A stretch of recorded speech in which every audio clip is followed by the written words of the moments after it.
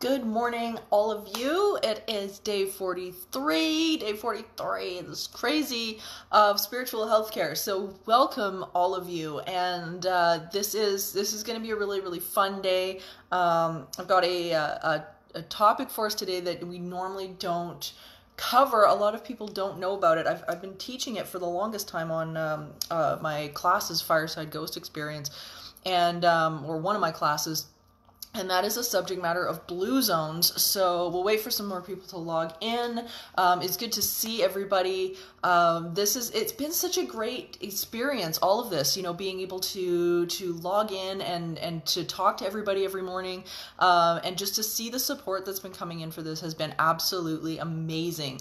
Um, the, uh, the, the comments and the and stuff you guys send has just been fantastic. Um, Sarah says I look great. Thank you so much. I would I you probably look great too. I can't see you. I have no idea.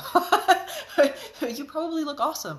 Um, you know it's just been wonderful to have everybody just you know coming in every morning and and the emails that you guys have been sending. We've had people from australia and south africa and like literally all over the world. It's been so cool. Good morning dan. Nice to see you. Um, it, it's just been so neat. And you know and people have been finding their own way now to find their connections which has been so cool to watch. Good morning tabitha. How are you? Uh, it's nice to see some new faces. Um, i wanted to let you guys know that if you guys are missing past classes or you want to go back on past spiritual healthcare classes, um, you can go to youtube.com slash entity seeker or entityseeker.ca and they are all there. They are all there. All well, today it'll be 43. Today it'll be 43. 43 of these damn things. It's crazy. It's crazy. You guys are like, you guys are such troopers. you just listen to me every morning. It's, it's so great. Uh, okay. Good morning, Will. Spiritual healthcare is a blue zone. Oh, thank you so much. Um, that means a lot. We're going to be talking about blue zones today, and I'm excited about that because I want to talk about those in relation to paranormal activity uh, and uh, and what that means and what it means for a community to become a blue zone and how we can start moving that forward as well. Good morning, Christopher and Corey and Des. Nice to see you guys. Um, uh, it's just yeah. So this is going to be so good. I'm I'm excited. I hope you guys had a great evening yesterday. It was nice here. I don't know what it was like where you guys are, but it was it was really nice. Um, it was quite a lovely day and we've got a really lovely day out today as well. So make sure you're opening your windows if you've got nice weather where you are because we definitely we, we definitely are warming up here slowly. Our snow's gone so that's that's amazing. I'm in shorts too. I'm actually in shorts today which is which is crazy.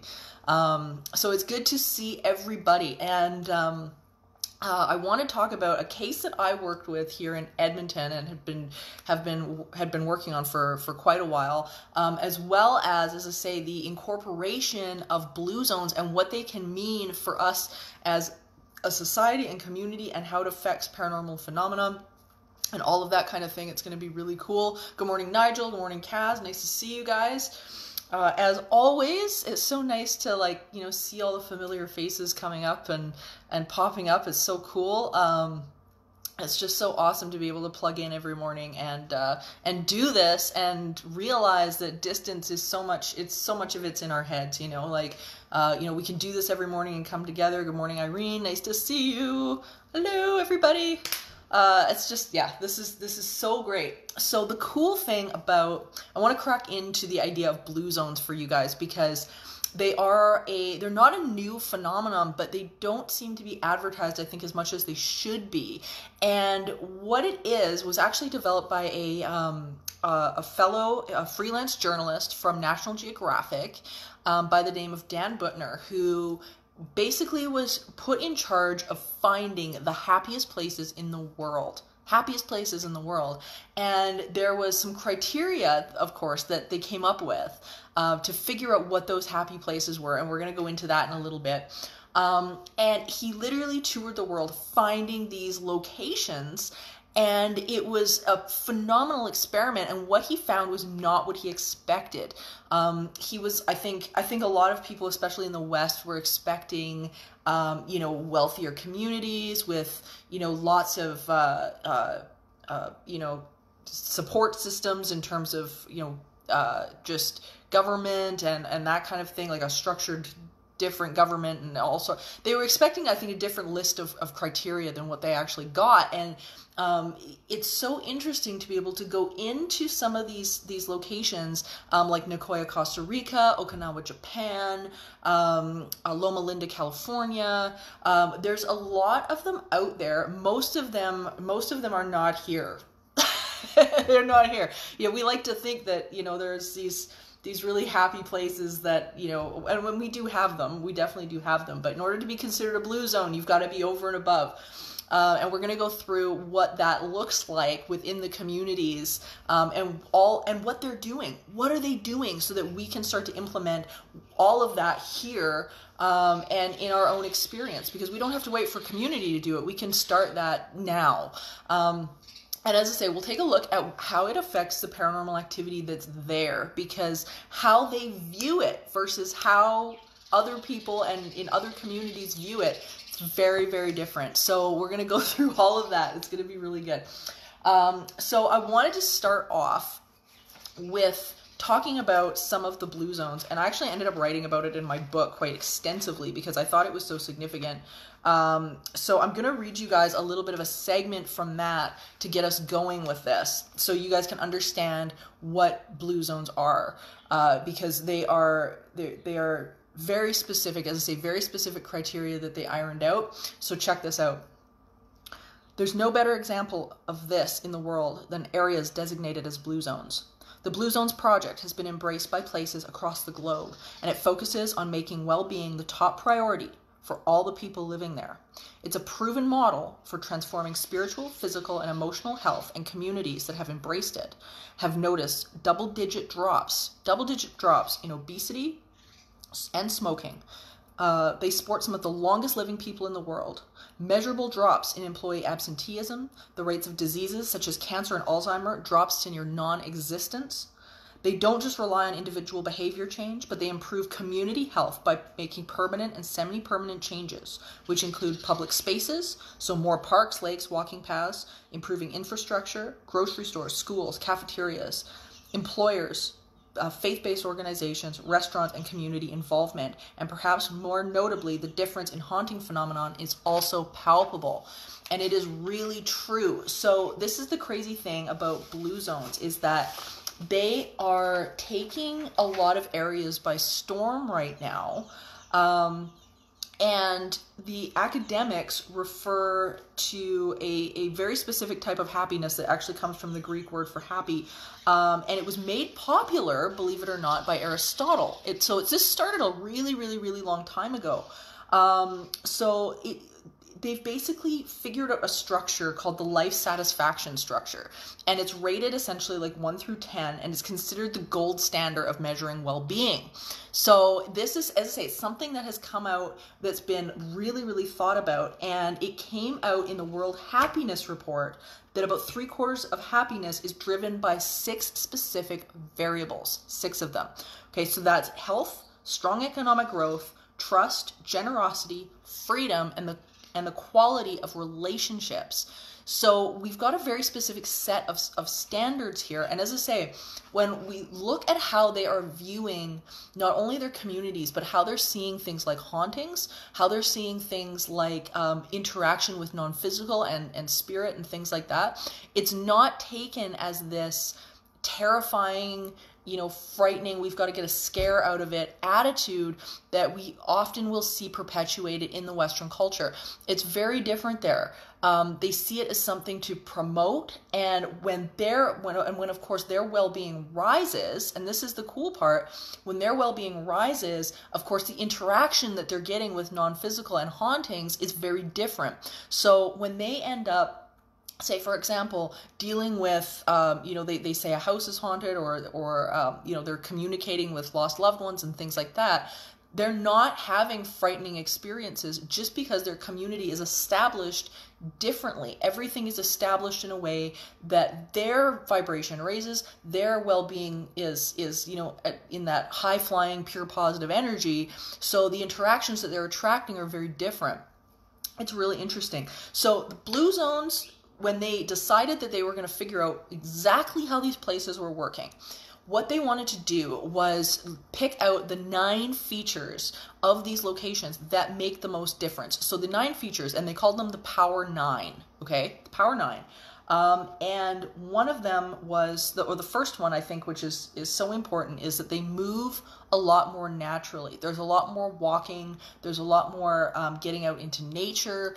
Um, there's a lot more things like biking uh, and that kind of thing. Um, they're just constantly active, um, growing gardens, all of that kind of thing, which I find so cool considering that's what we're kind of moving back to right now with with the pandemic right? Where a lot of people are out there build um, growing gardens. And i don't know about where you guys are but i know in alberta um, they are actually deeming greenhouses and things like that essential services so that people can come and garden and and, and build gardens. Um, one of the big ones is the, which is the second feature which is the fact that they all have purpose Purpose is a big deal. And we've talked about this in spiritual healthcare before. The, the importance of having a vision to move forward because when we have a vision then all of these little glitches like these little things that get in the way of what we're what we're trying to do and accomplish don't seem so damn big if something goes wrong if you've got that vision that long vision it doesn't seem you don't get hung up on the little thing or you don't get hung up for example on the criticism that comes up where people start you know nagging at you or telling you that you can't do it.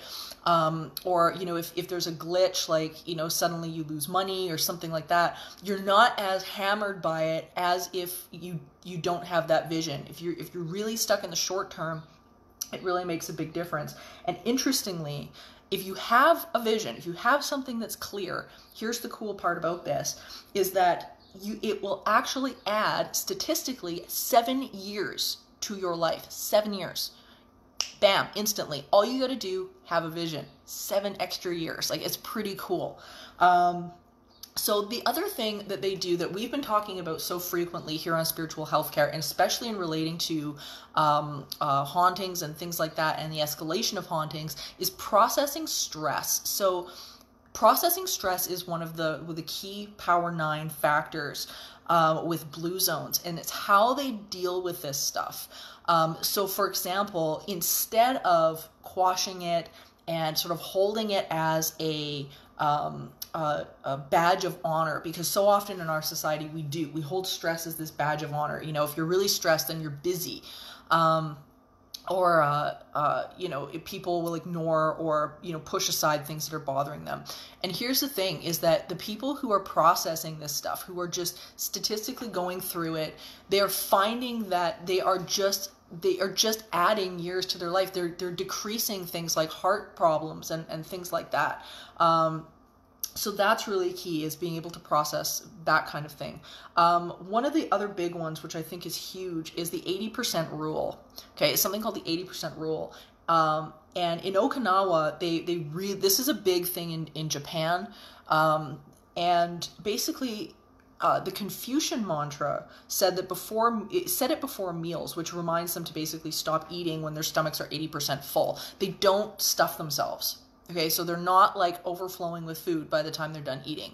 So they've got a rule where 80%, 80%, and you stop. So it's interesting. Um, lots of greens on the menu there, which is a big deal. Um, wine is actually a really big staple, uh, which is you know not unhealthy amounts of it, and not to the point of being drunk, obviously. But um, wine is a big deal, especially in, in blue zones like Sardinia, Italy. It's a big thing. It's a big thing. Um, probably one of the most unique ones, which I think is so important, which the West misses out on quite frequently, is that sense of belonging. Um, that's a one that's boosted often in the blue zones, um, and during when you get like a, a, a situation where people are feeling feeling alone or lonely or anything like that, and they don't feel like they're belonging to a bigger whole, um, automatically you're getting uh, like higher stress rates, um, higher mortality rates, and things like that. So it can end up creating a difference of 14 extra years in people's lives. Sense of belonging. Sense of belonging. That's all it is. Uh, 14 extra years. It's really, it's pretty cool. Um, and the last, the last two, um, number the the first one being family first. Um, family is, is is put at the forefront. I think this is something very interesting with with blue zones as well um, and something that i tell my clients to come back to again and again when i'm dealing with with haunting situations is that oftentimes when we're dealing with a negative haunting there's a disconnect somewhere within a family group. There's something going on. Um, and you don't necessarily know where where that is or where that healing is. And sometimes you have to be able to look towards the type of phenomenon or the the uh, um, the entity itself to kind of figure out what that mirror is looking like. Because oftentimes when we get these these negative hauntings they are so often that reflection of the wound that wasn't healed to begin with or it's a reflection of the dysfunction in a relationship or it's a reflection of the the the upset or um, disharmony that's going on in, in those people's experience. It, it almost always is a reflection of that. Um, and you can start to pick out where the dysfunction is based on the, the entity's behavior, which is kind of cool. Um, so it's something really important. And then the Okinawans have a, a, a great uh, method. And research from Framingham studies actually showed unhealthy behaviors like smoking, obesity, um, and whatnot are actually contagious. Contagious. Isn't that crazy? Like crazy contagious. So, for example, if you've got nine friends in your group that all smoke and you don't smoke, guess what? Chances are you're going to be smoking. Um, so here's the big deal with things with with that concept. Okay, and I want to really touch on this because it's so important, especially when it comes to to haunting activity. Um, it, when we get around people who are toxic, who are, um, you know, not helping themselves and they might not even know. They might not even they might be super good people but they might be just those those people that don't want to grow. Sometimes the people that don't want to grow are more toxic than than somebody who's just being a bully. Um, and you know they will quash or you know put a stick in the in the wheel of your business or whatever they're doing as best they can in order to slow you down so that you can't go forward and move into the things that you need to move into. Um, I had I've had experience with this myself, um, you know, where somebody will literally put a smile on their face and tell you they're supporting you, and they will you will move along, um, you know, throughout you know your experience and they are just throwing wrenches into whatever they can they're throwing wrenches. Uh, marge is saying that's happened to her. Absolutely. I think so many people so many people have had this go on and they haven't recognized because sometimes what it is sometimes man it's, sometimes it's somebody in your house. It is in your house and that's something that we we really do have to pay attention to. Um, you know we're, we're used to hearing about this kind of thing from maybe an opposing business or you know the competition or something like that like where there's a feud going on but man sometimes it's coming from your family. It's coming from inside and we gotta we gotta pay attention to who those people are. Who are we surrounding ourselves with? You know every time you move into happiness or you move forward you know are they turning around and telling you that you know um, you know you're hurting them or you're hurting their feelings or what you know like what's going what is being said that is you know being being thrown into the wrench of of your your dream, what you want to be doing. Um, uh, there's yeah see more more people more people are saying it's it's happened to them. You know it is so true. Um, and we have to be conscious of the messaging the messaging that we're getting because if we're being made to feel bad about who we are if we're being if, if that's going on that's not your collective. That's not your those those aren't your people. You don't you don't want that. Um, so it's something to be really really conscious of and pay attention to. So, how this reflects in terms of of hauntings. Um, how does it how what does it matter? Well, oftentimes what we'll do is we end up in a situation we're surrounding ourselves with people who, for example, are um, you know, you know, maybe they're doing that. Maybe they are slowly kind of eking us down. Maybe that maybe these people are better than, you know, people we've had before, but maybe it's not where we need to be. That's the other thing. Don't settle. Don't do that. Don't settle. Um, maybe these people are, you know, they're better than before, but they're not not where we need to be, and we tend to get stuck with those groups. We really do. We get into a comfortable rut and we tend to get stuck with those group that group of people just because it's better than what we had previously.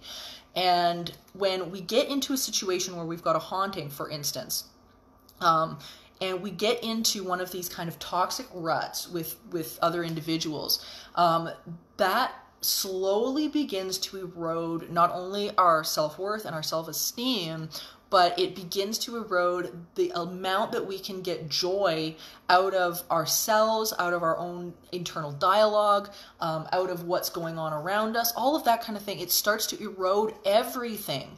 And because of that, we start to sort of slip, and then we end up with, with you know, in range of some activity, you know, haunting activity that just sucks. Um, it's just not good stuff and we can't really figure out at that point how we got there. So we have to be really conscious of what it is we're looking at. And it doesn't always have to come out in the form of a haunting. Sometimes it comes out in the form of, of finances, or sometimes it comes out in the form of, of just realizing that you're depressed all of a sudden. Um, you know, coming to the the awareness that it's like, oh my God, I'm I'm depressed and I don't know why. We have to take a really hard look at, at that what which is around us um, to make sure we're setting ourselves up for success in the long run. Are we setting ourselves up for success?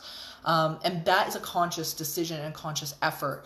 Um, so the blue zones are so cool because as I say, these are the longest living people in the world. They prioritize family, and the, the governments and things like that are set up. They're set up for well-being. So they people, for example, they get maternity leave. Um, you know, these are not super rich communities, many of them.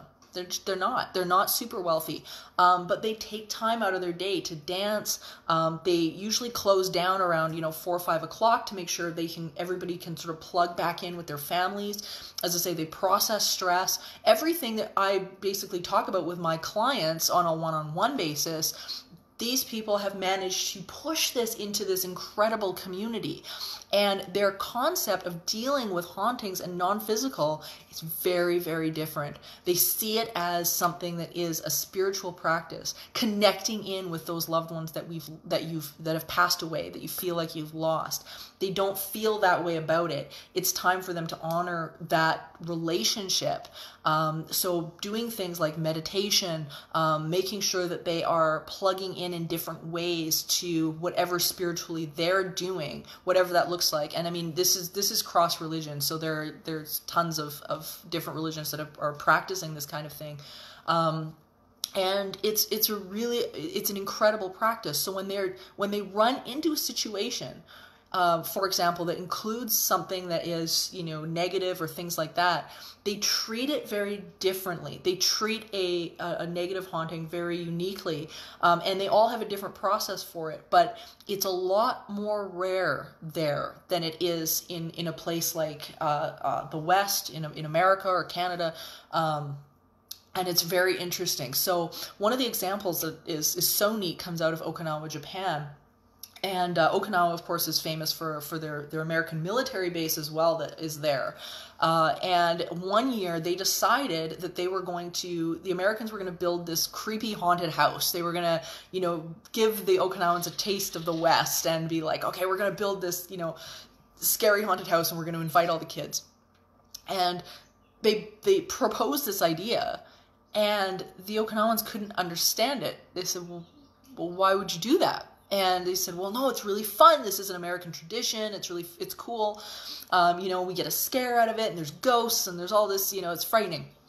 And what was funny was that the only ones that showed up were the americans the Okinawans couldn't they didn't get it. Because to them non-physical and that relationship isn't a negative thing and it's not scary to them. It's just something that is natural it's something that's free flowing uh, and they couldn't understand the the fascination with the idea that it was uh, supposed to be something really frightening. So it was it's really interesting very different way of understanding um, all of this phenomenon uh, I've investigated a, a, number of times uh, this uh, museum here in Alberta, and uh, it was it was interesting because we had all of the museum employees, uh, and the museum was under renovations at the time as well. So not only were we dealing with the employees, but we were dealing with the contracted people who were coming in and doing electrics and all of that kind of thing.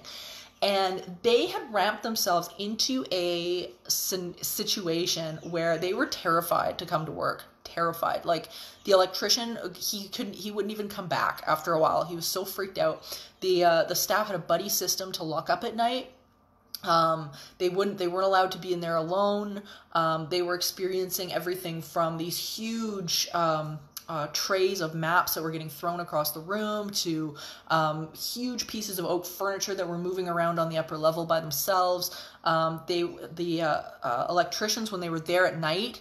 Um, they would have things happen to them like benches would get pushed in front of them and they would fall um, also like all sorts of just crazy stuff like that and what was so interesting about this case was it really was a matter of breaking down the paradigm for them that they had going and the the rut that they had gotten themselves into. Because when we get a case like this, here's the here's the key, um, is that you know something will happen and then that person gets frightened and then they go home and then they call their coworkers and then their coworkers get freaked out and then they can't let it go and they think about it all night. So by the morning what state of mind are they in when they go back they're freaked out. They're just, they're terrified. They're freaked out. They're waiting for something else to happen. And guess what? Law of attraction is a reliant thing. It will happen again. And bam, they get into another incident. And all of a sudden, we're, we're snowballing over and over and over again. This mindset of fear, uh, coupled with this state of expectation and always looking over your shoulder. So as we move them through this process, we had to be able to start to break down what it is that they were experiencing and how they had to change their dialogue in their heads when they went home at night.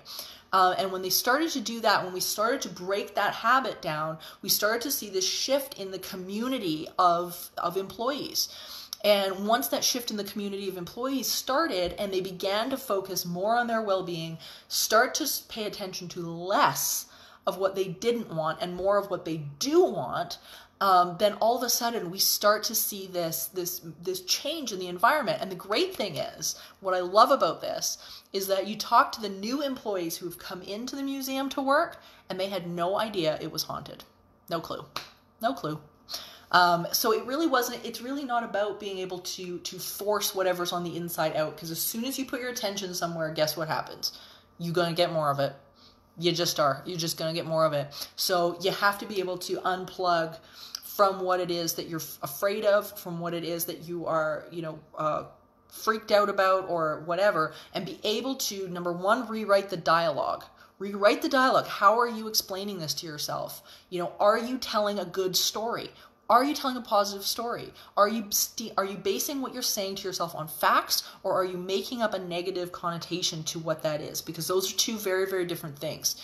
Um, and the people in the blue zones have done a, such a fantastic job of being able to to unplug a little bit from their their story and refocus on and re- uh, religiously refocus just you know all the time every day um, and begin to start to change what it is that they're doing. And they've made such a massive difference in their communities. I had the privilege a number of years back of visiting um, a few of the blue zones in California, uh, and it was absolutely incredible. And one of probably one of the most unique locations for me, uh, which is a, a, location that is is slowly be was was becoming at the time at least um, more of a blue zone.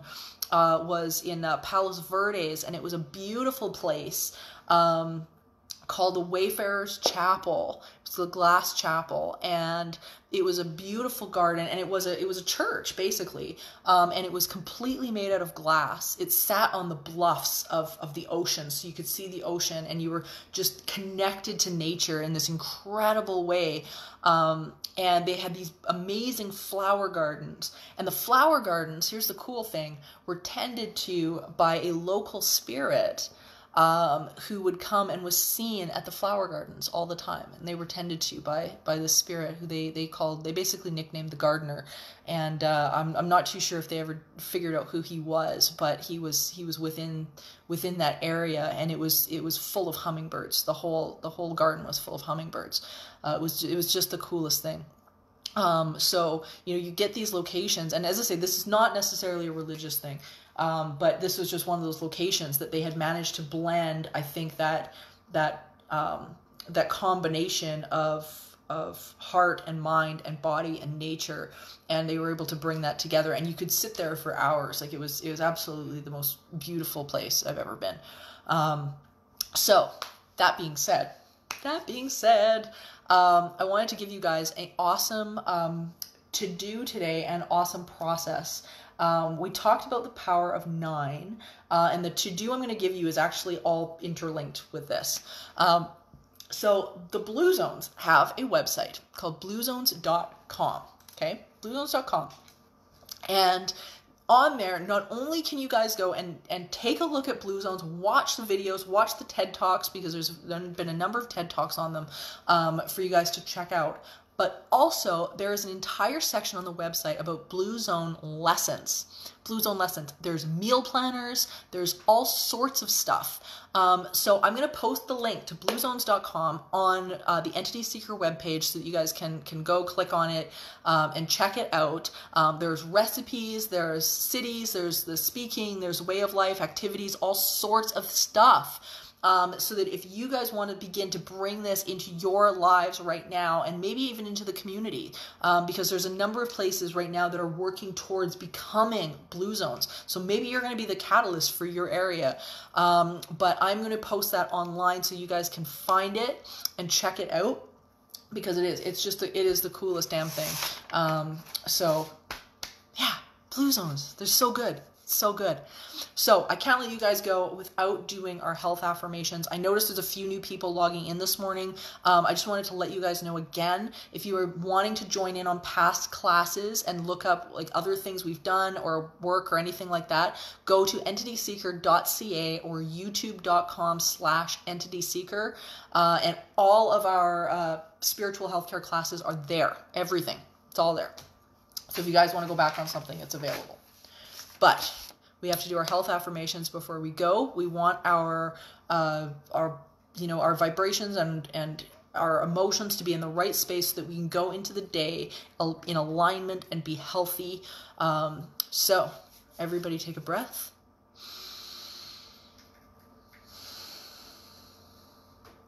It is natural for my body to be well. Even if I don't know what to do in order to get better, my body does. I have trillions of cells with individual consciousness, and they are learning to achieve individual balance. When this condition began, I didn't know what I know now. I don't need to understand the cause of this illness. I only need to gently, eventually release this illness. It doesn't matter how it got started because it's reversing its course right now. And there's no hurry about any of this. My body knows what to do. Well being is natural to me, and my inner being is intricately aware of my physical body. My cells are asking for what they need in order to thrive, and Source is answering those requests. I'm in very good hands. My only work is to relax and breathe, and I can do that easily. Everybody take a breath.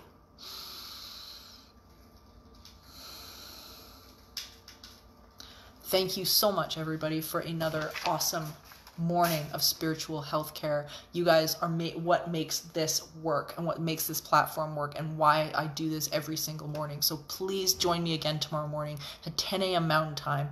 Every day we do that. Every day we're here doing spiritual health care um, and talking about this stuff with tools and resources and and talking the paranormal and all that kind of thing. So please come back join us share this with with people. Um, you know we want this information out there so that people can uh, you know utilize it for themselves and, and find it and, and come join us every morning. You know we, we really we really want want to uh, pursue that uh, and it's just such a it, it's such a wonderful ability to be able to gather every day and i just i love it so much so thank you guys again so so so much uh, Paranormal 911, of course, will be on tonight in America. Uh, so I hope you guys, uh, you know, the Americans at least can tune into that this evening. Um, it's a great season so far. So I'm, I'm, uh, I'm stoked. I'm stoked. Anyway, I will post a link to bluezones.com on uh, entityseeker.ca uh, and the Facebook page so you guys can find it.